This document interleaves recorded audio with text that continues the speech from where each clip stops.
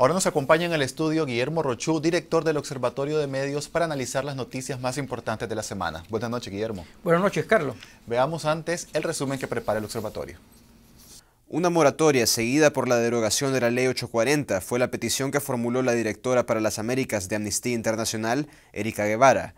La demanda campesina se ha internacionalizado. La activista de derechos humanos Bianca Jagger se solidarizó con los campesinos y pidió unirse a su lucha. El drama de las abuelas responsables del cuidado de sus nietos debido a que sus padres se han visto obligados a migrar en búsqueda de empleo ha sido expuesto por estudios del tema de la migración. Casi un millón de nicaragüenses han tenido que salir del país, en su mayoría mujeres. El desarrollo armonioso y el ordenamiento de la capital entraron en la agenda mediática y se han mantenido como tema prioritario. El caos vehicular, la falta de lugares de estacionamientos y la necesidad de establecer polos de desarrollo darían otra configuración a una ciudad que carece de un plan estratégico que norme su crecimiento.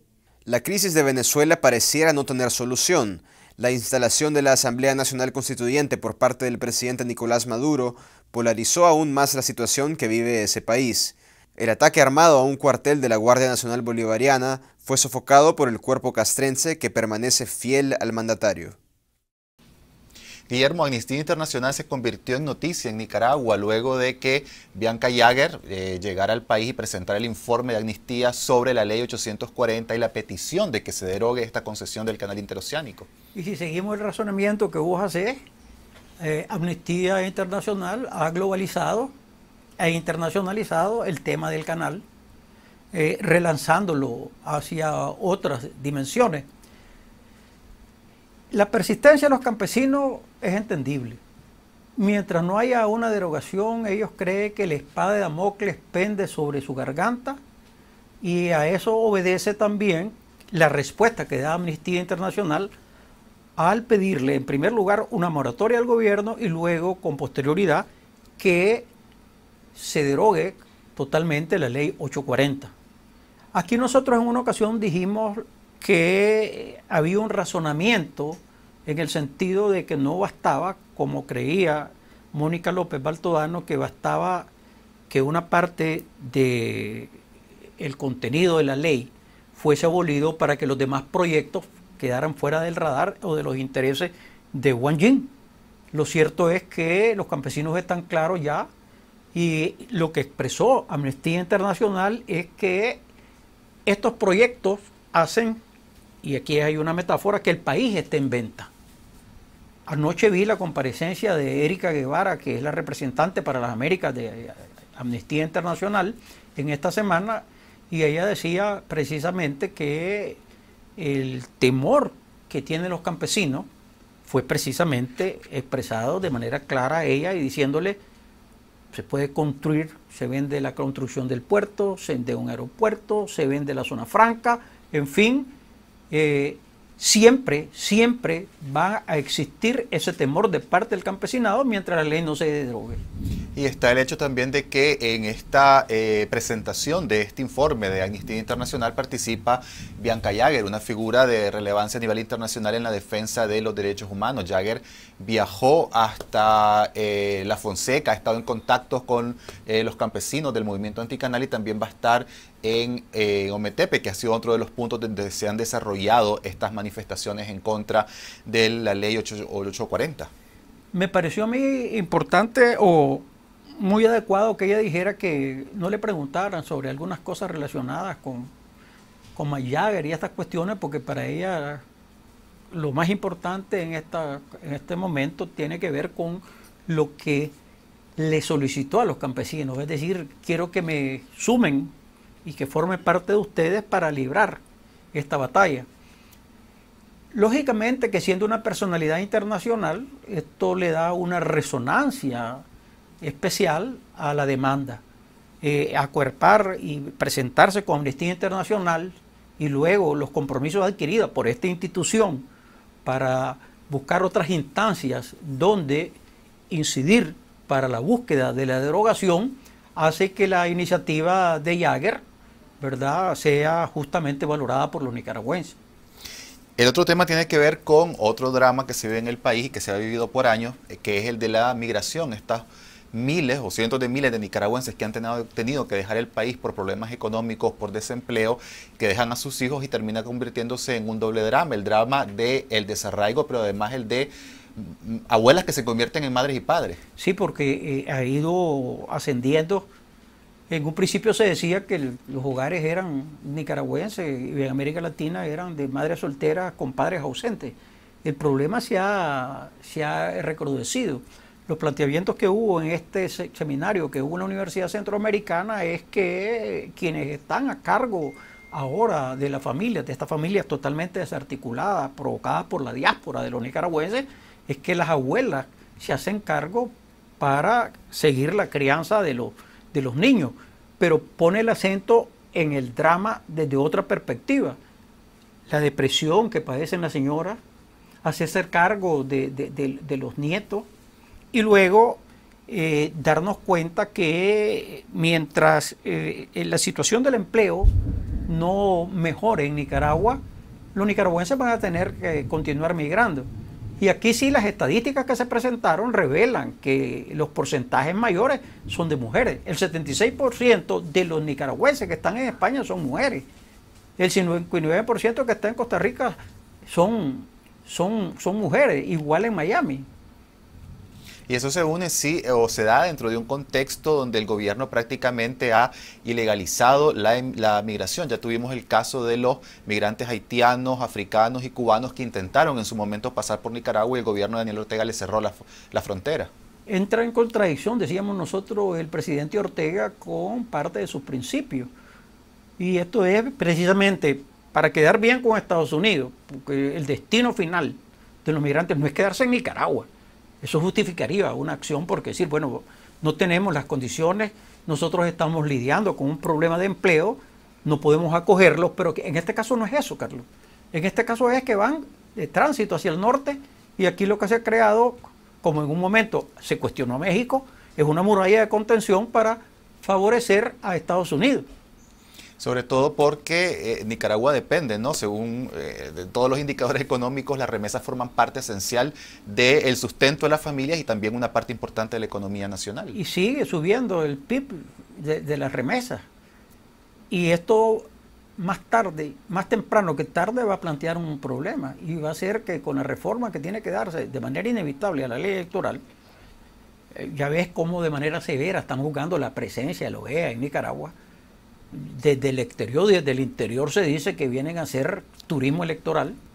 Eh, son severos los cuestionamientos que se le hace por haberse, ¿verdad? Ellos, o por haber creído que mantener un silencio sobre algo que compete a la nación, porque son los nicaragüenses los que eligen sus autoridades, y en este caso las autoridades edilicias, las organizaciones internacionales y partidos políticos nicaragüenses, hoy, en este caso fue el Partido Liberal, eh, como, como se inició eh, eh, que se llamaba Movimiento Ramiro Sacasa, que se convirtió el PLC, ¿verdad? Que, en PLC, Partido Liberal Constitucionalista, que fue la iniciativa que presentó el doctor Ramiro Sacasa cuando se opuso al somocismo en 1969. Entonces, el, problema serio de la migración necesita ser atendido como una política de, de, gobierno o una política de Estado. Y eso va a hacer que se pida el voto de los nicaragüenses. Si nosotros somos quienes de alguna manera mantenemos la economía de ese país, tenemos derecho a tener voz y voto en la elección de las autoridades para que el, destino del país nosotros decidamos en manos de quién debe estar. Y el otro tema que eh, desde esta redacción nos hemos enfocado bastante en las últimas semanas, tanto esta semana como confidencial y esta noche, está relacionado al ordenamiento de Managua, esta ciudad caótica donde el tráfico crece de forma desordenada, donde los centros de, comercio y también de diversión de la población crecen de forma desordenada. Ya hay un plan patrocinado por los japoneses. Ha habido una entrevista con el embajador japonés que habla sobre la Managua del futuro. Y el fin de semana mi colega Arlen Cerda, que se ha hecho cargo del tema, ha publicado, publicó en esta semana eh, este, reportaje sobre cómo ordenar la capital. Desde el observatorio nosotros eh, creemos que es pertinente elogiar que se mantenga en agenda el reordenamiento de la capital. poner fin al caos existente. Esa mención que hacías vos de la, de la situación vehicular, ya se habla de un crecimiento desmesurado de los vehículos. Hoy, aparte de lo que Arlen planteó ayer y lo que se escribió en Confidencial, José Dan Silva escribió precisamente el caos vehicular que existe en la capital. En Nicaragua ya hay más de 5 millones de, de, 5 millones, sí, ¿verdad? De vehículos. Entonces, eh, eh, en un momento yo recuerdo que unas declaraciones que dio el licenciado Fernando Robleto Lan, precisamente aquí eh, en estos estudios, dijo que una de las cosas importantes que ellos hacían con la ampliación de galería fue que ellos tenían ya, ¿verdad?, 1.200, 1.800 parqueos. Y el problema que existe en Managua, con, con, pocas vías de comunicación y las calles no, donde la gente se parquea y la cuestión vehicular, que finalmente no, no, no, el recuerdo vehicular que no funcionó como se esperaba, porque uno ve que es de manera intermitente. Cuando hay presión de los medios, comienzan a accionar. De lo contrario, ves que las calles de Managua, eh, el paso que hay es limitado.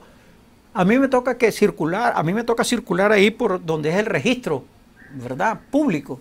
Fíjate que ahí es difícil, porque si un carro se mete hacia, hacia, el lago, yendo hacia la Vicky, ¿verdad? Ya uno puede circular, porque a los, a los dos lados de la calle, todos los días, hay vehículos parqueados. Pero se habla también un poco del crecimiento económico y de cómo eh, nuevas alternativas comerciales han surgido en Managua, pero no hay por parte de las autoridades eh, un ordenamiento, es decir, que le diga, si usted va a eh, poner un negocio, si va a construir una nueva tienda, un nuevo restaurante, se tiene que encargar este comercio de que haya estacionamientos para evitar este tipo de situaciones. Eso fue anoche lo más importante del reportaje de Arlen, es los cuatro polos que se pretenden crear en la capital. Ojalá, porque se habla de un plan que va de 2017 hasta el 2030.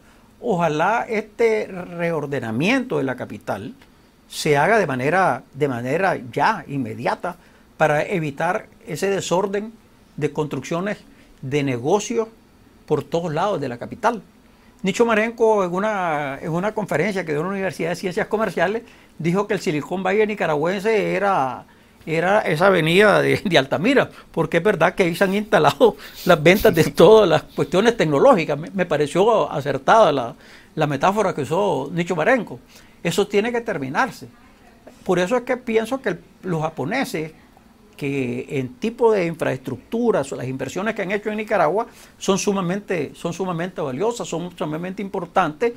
Eh, lo que dijo anoche en la entrevista Fátima Darce, eh, eh, es sumamente importante. Espero que eh, los planteamientos y las preguntas que hizo Darle en distintos lugares a las personas, porque decía, decía la, la arquitecta Darce, lo fundamental aquí es que participe la ciudadanía, es decir, integrarla, porque esto al fin y al cabo va a repercutir en, su, en sus vidas. Entonces, lo que respondía la mayoría es que hasta ahora ninguna ¿verdad? Ha sido preguntada sobre el desarrollo de este plan. Ojalá haya una rectificación. Sí, porque además es un plan que ya está, que las autoridades en realidad no han dado a conocer públicamente, no se conoce la posición oficial de la alcaldía de Managua. A veces pareciera que la ciudad en realidad no tiene una autoridad que la gobierne porque tanto el comercio como nosotros mismos los ciudadanos hacemos lo que queremos, sin respetar las reglas de urbanidad dentro de la ciudad. Managua, nosotros lo volvemos a, repetir, es hostil con las personas, los negocios siguen ubicándose de la gana. Entonces, la única manera, la única manera, nosotros decimos, así como dijimos, el reordenamiento del mercado oriental debe hacerse con firmeza para beneficio de quienes llegan, los millares de personas al mercado, y de los mismos, ¿verdad? Eh, quienes tienen ventas, negocios en el mercado oriental no corren los riesgos que han corrido a lo largo de estos años. Eso mismo tiene que estar pasando en Managua ahora. Ya no puede seguir, ya no se puede seguir construyendo donde la gente le dé la gana cualquier cosa. Muchas gracias, Guillermo, por acompañarnos hoy en el programa. El reportaje sobre el ordenamiento de Managua de mi colega Arlen Cerda están disponible en confidencial.com.ni. Gracias por ver este video. Si les interesa conocer más sobre el periodismo independiente que realizamos, los invitamos a suscribirse a este canal para recibir todos los reportajes y entrevistas de esta semana, esta noche y confidencial.